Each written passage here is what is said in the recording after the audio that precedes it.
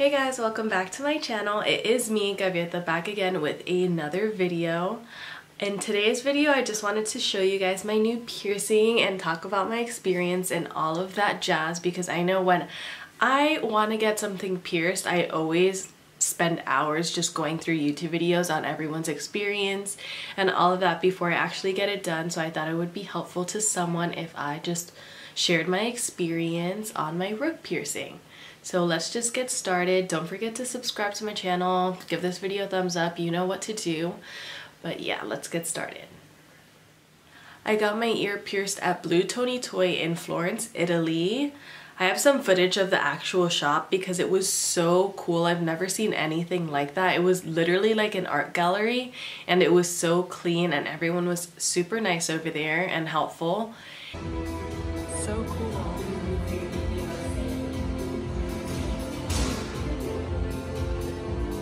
As for price, I paid 35 euro for it and it was a special like I literally got the piercing because they were having like a four year anniversary sale. So it was 35 euro, which converts to about like a little less than 40 American dollars or about 40 American dollars, which I didn't think was that bad because I did pay for the experience of the shop, the cleanliness, like just the it's a popular shop so you're gonna pay a little more there. And I just got a regular sterling silver bar which I'll show you close-ups in a second. I just want to get all my talking out of the way.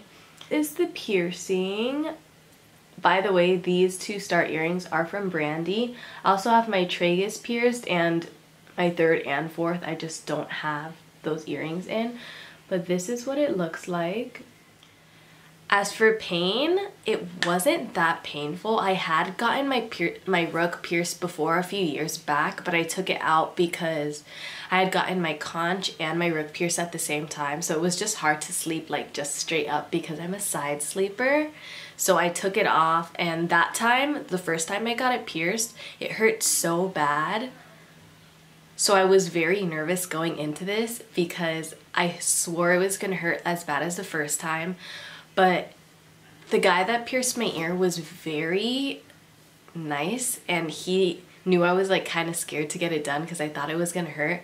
So he kind of applied pressure to kind of like freak, not, I don't even know how to explain it. Like he applied pressure with two Q-tips to get me ready for the actual piercing. So by the time he actually pierced it through, I did not feel it at well, I felt like pressure. I just didn't feel it actually go through, if that makes any sense. I didn't hear a pop or anything. So on a scale of 1 to 10, I do have a high pain tolerance, so I would say like maybe a 3.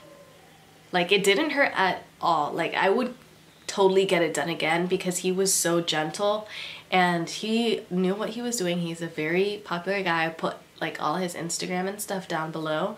I wasn't able to film the actual piercings, like him piercing my ear and stuff because they just don't allow that there. But yeah, I just basically went into his little shop and it was super sterile. There was like sterilization machines everywhere and he had just like a normal, I guess like tattoo chair that I laid on and he did that. It was very sterile. He wore gloves, showed me that every, oh my gosh, that scared me. He showed me that everything was clean. Yeah. As I had a pretty good experience, I would recommend anyone get it. So I'm just going to show you guys it now. I love it and yeah. I love it and then from the side that's what it looks like. So that's the piercing. I absolutely love it. I would recommend anyone get it. It was not that painful. Well, in my opinion, it wasn't that painful. It would I would say it's a little more than just a regular cartilage piercing pain-wise. I do have my conch on the other ear and that one hurt a lot. If you guys want to see a video of like all the piercings I have, let me know because I do plan on doing it and I would love for you guys to want me to do it. Uh, let's see, what else can I tell you guys about it? Oh, I can tell you how I clean it and all of that.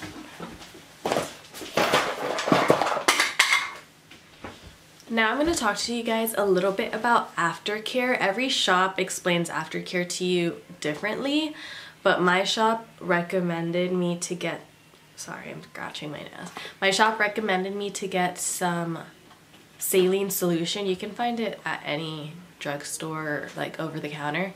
But I just went to the pharmacy. They gave me like this little slip because obviously I'm in Italy and I don't speak Italian.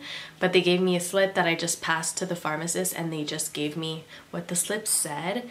And this is what it looks like. I don't know if you can get it in America. I'll try to find it on Amazon or something or something similar to it. And basically after he was done with the piercing, he just explained to me the aftercare, which was not to touch or like twist or play with the piercing. I feel like that's pretty obvious.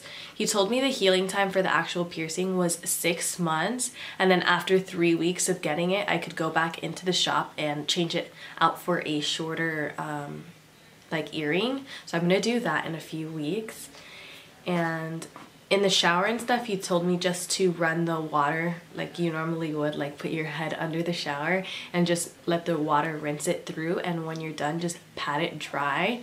And then once a day, I use these saline solutions. They look, they're super cool. I've never seen anything like this in America, but it's basically brings 15 of these tubes and then I just and then I just tear off the top. I'm not going to do it now because I already cleaned it and you just like squeeze the tube in there, get all in there and clean it out and then pat dry. And that's once a day. So yeah, that's about the aftercare.